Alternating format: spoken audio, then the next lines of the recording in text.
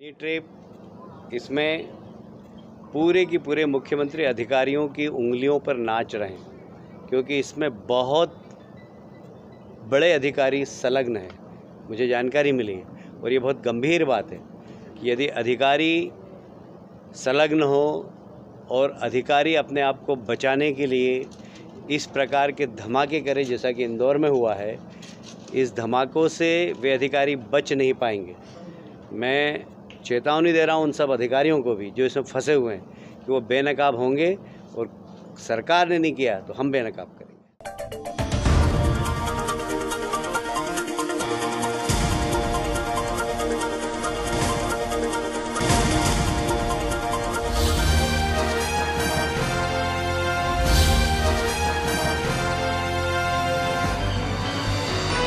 आप देख रहे हैं दखल न्यूज़।